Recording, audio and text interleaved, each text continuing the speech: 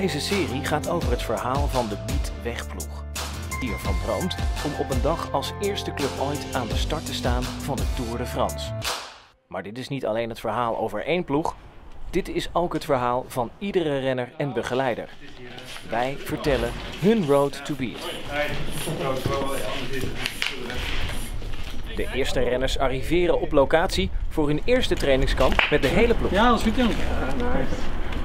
Hey ik ben Steven, uh, caretaker. Nou. Nou. Oké. De mannen krijgen vandaag ook voor het eerst hun nieuwe teamkleding.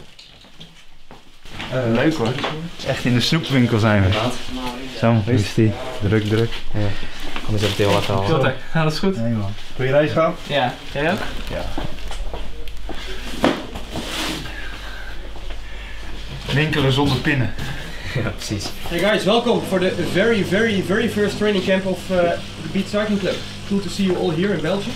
Quite heroic weather uh, if we look outside, but it's not 3 centimeters yet as expected, so I think we can go out. Uh, and we would like to go as soon as possible, eh, Wilbert? Yeah. So uh, pick up your bikes uh, from here, and then we go uh, as a group to uh, Waterberg, and there we do a photo shoot with our uh, photographer. Ryan, vind je fietsen ook leuk? Ik fietsen leuk. Ik zou wel graag een dagje mechanieken willen proberen. Harde werken hoor. Ja, maar vandaag? Voor vandaag stond ook een fotoshoot gepland. Met dit weer nog een hele uitdaging. Al levert het natuurlijk wel hele stoere plaatjes op.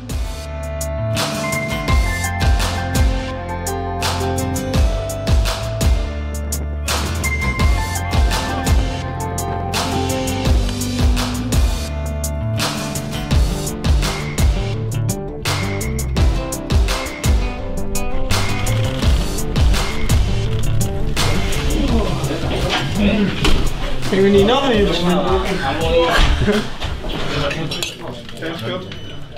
The program for tomorrow morning between 7 and 8 the breakfast is ready here. Uh, I will recommend you uh, to have two and a half hours before the training uh, a proper uh, uh, breakfast because there's a hard day tomorrow. Voor de tweede trainingsdag staat een zware training gepland. Vroeg opstaan om je goed voor te bereiden is dan een heel goed plan.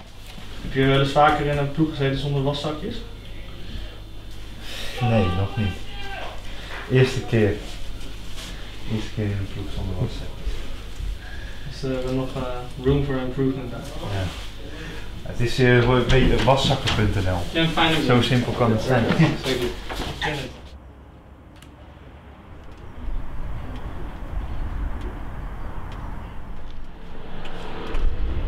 Eh, we gaan vijf uur trainen. Met eh, hier in België over alle bekende klimmetjes, heuveltjes, hoe je het noemen wil.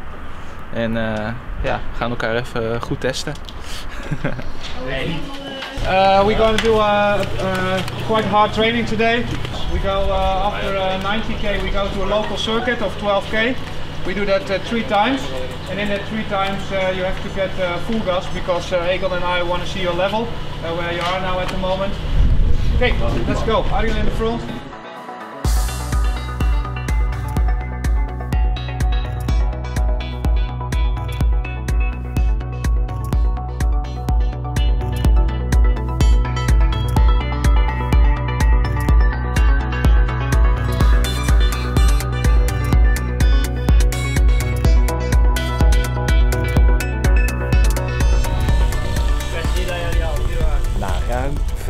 Uur trainen mogen de mannen de massagetafel op. Alex, Ja, wat is jouw impressie eh, van vandaag vooral? eh, een mooie lange rit Ja. met eh, hoge intensiteit op, Ja. richting het einde toe. En ja, elkaar beter leren kennen, ook op de fiets nu. It was a kind of race at the end. Eh? I saw train today, and I think that um, you can have a good result, even a top 10 result in, in, in Flanders, in that uh, West Flanders race.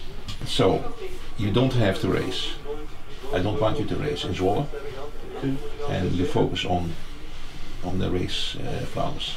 So I keep you and the two Belgians here. Kijk, eh, het was de eerste keer eh, om te kijken wat kunnen nou die mannen daadwerkelijk eh, ook op de fiets. En het heeft mij wel inzichten gebracht in eh, wat hun eh, niveau op dit moment is. En het helpt mij ook om eh, de trainingen voor het volgende trainingskamp eh, ook weer voor te bereiden. Omdat ik eh, ja, toch een beter grip heb op ja, wie zijn ze nou en wat kunnen ze nou. En dat, daardoor kan ik met kleine stapjes de training ook telkens een beetje beter maken.